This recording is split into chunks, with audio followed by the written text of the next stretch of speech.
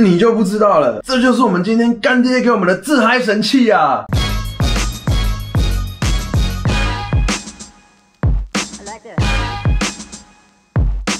好，哎呦，这个反光就是这个哦，Epson 出的 BT 三零 C 智慧眼镜，就这样小小一盒，其实没有很大哦。我们看一下里面，里面打开之后呢，像你们看到了，它这边有一个收纳袋。这个收纳袋大概比我的 Switch 还要再小一些，然后旁边有印着 Epson logo。那除了收纳袋之外，里面哦，里面这边有一个配件，这边这个是鼻梁垫，你可以自己考虑是不是要安装这个鼻梁垫，就是去调整，因为你每个人的鼻型啊、眼镜的形状会长得不太一样，佩戴起来的舒适度也不同。那这边还有一个呢是墨镜的镜片，然后在这个下面呢有保护卡、产品说明书等等的。打开，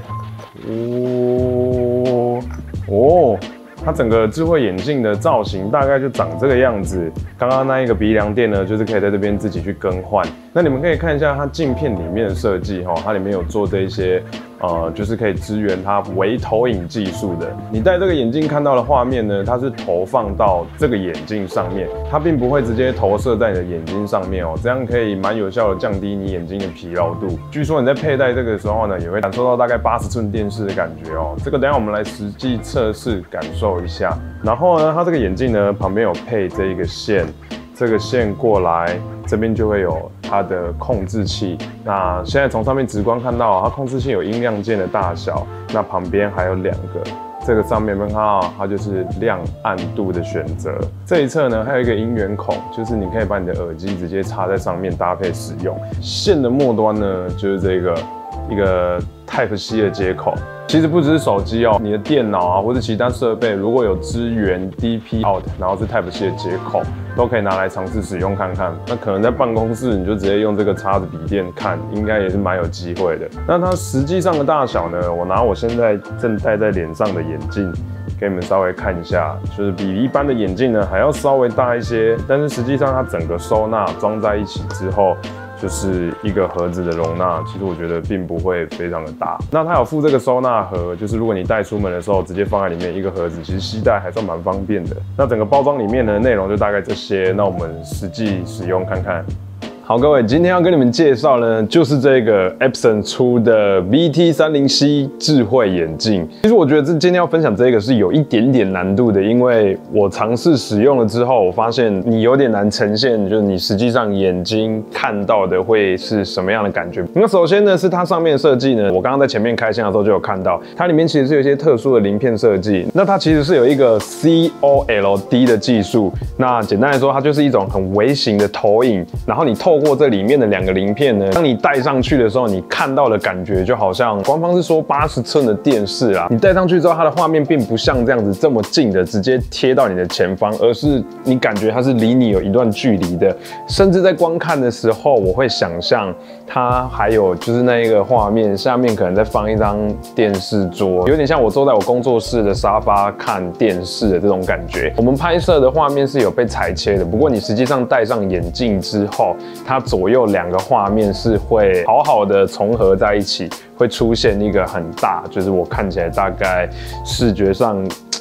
真的很难言喻，就真的是非常大的电视的感觉。那我在佩戴这个看影片的时候呢，它其实这边还有一个小小的遥控器。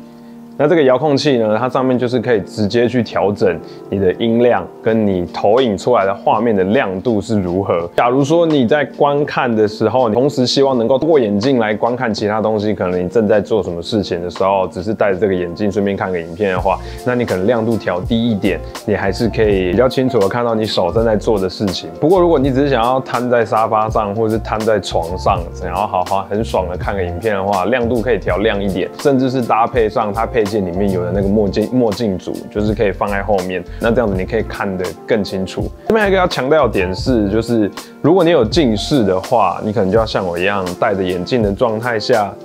然后去把这个套进去。那它的鼻梁垫其实做的特别高哦，就是特别长、特别高，就是为了应付这个状况，就是让跟你的眼镜可以去做一个距离区隔，然后你就稍微哦离远近有一段距离。然后看一下挂在哪里是比较舒服的。那以目前来说，我调整的这个位置，如果我正在看影片的话，它差不多呈现的位置就会在这一个地方，并不是每一只手机都可以支援这个影片。所以呃，影片下方有个详细连接处，你们可以点进去看一下，就是你的手机有没有支援这一副眼镜去使用。那我这边用一个有支援的手机，基本上你插上去之后呢，你从界面上就可以看到，它这个写已连接视讯输出。那这个。时候呢，我戴上眼镜，其实是已经正在支援它的那个画面输出了。它已经在离我遥远的一个地方是看得到画面的。这边有一个 Move Real Link。你可以去下载安装，然后你如果点击它的话，就会看到画面上有出现，比如说明暗度或者是音量。然后它这上面还有一个比较有趣的，有没有看到这边写一个二 D、三 D 的按钮？就是在 YouTube 上面呢，或是其他地方有些会有一种三 D side by side 的功能。那基本上它的影片呢，你在 YouTube 就是在没有资源的情况下，你直接观看就会像画面上看到一样，它是左右两个，就是它一个画面会切左右两个。那你这个时候呢？再把它这个功能按下去，那这个时候它在你的眼镜上面呢，它就会把画面切割成左右，然后合并在一起。那这个时候你透过这个眼镜在观看的时候，它就会有一点像你去看电影 IMAX 的那一种，就是东西是会有远近距离感的去呈现一个这种 3D 的效果。坦白说，它的 3D 效果我觉得呈现的还蛮好的。所以如果你只要有支援这种技术的 3D 影片的话，我觉得你都可以尝试用来再来看。接下来是友情分享一下，就是中华电信它有一个哈密 Video 的 App，简单来说呢，它就是一个你可以在上面看各式各样电影啊、影集的一个 App。那这个 App 呢，就如你们现在画面上看到的哦，真心推荐电视馆。影剧馆，那通常大家喜欢看影集的啦，看电影的啦，应该没事就喜欢在这个页面看影片。这是手机只要能输出画面，就都可以看。所以你当然可以用这个 app 搭配我们的智慧眼镜，然后在房间里舒舒服服的看电影。好的，那再来就是要跟你们分享我实际上使用下来的感受。那我一开始使用的时候呢，其实你真的戴上眼镜，然后画面投进去之后，我看到之后是有一点点惊讶的。它的画面成像其实比我想象中的还要清楚，非常的多。就像你戴着眼镜。你先在在上面贴一个贴片，你在佩戴看影片的同时呢，其实你的头这样转、这样转，或者动来动去，那那一个画面呢，都会跟着你的头这样子动来动去，永远都是置于你视线的正中央。无论是坐着、躺着，还是甚至侧趴着，然后或者偶尔像慵懒的瘫在沙发上看影片的那种状态下，你都不会因为哦。太歪了，就是视觉上有点不太舒服，然后就在坐正，这样子看画面才比较清楚。那还有一个是它有一个收纳包，那我觉得收纳包设计的非常非常的好，我很喜欢东西都各自放着一盒一盒装好，因为这样你带出去还是你收纳的时候都会非常的方便。不过我有一些额外想要提醒的部分，就是你在佩戴的时候呢，你这个控制器呢最好是夹在离它近一点的地方，不要让它这样子垂着晃来晃去，因为这样子一定程度的增加它的重量。如果你夹着的话，它就是纯粹只有眼镜的重量。你如果让它晃着，你就会很容易有那种眼镜被拉扯的感觉。所以你在佩戴的时候，最好是把它夹好，而且你夹在一个好地方，你控制其实也算方便。以我个人来说呢，当配置的情况下，如果时间拉长的话，还是会有一点点负担在的。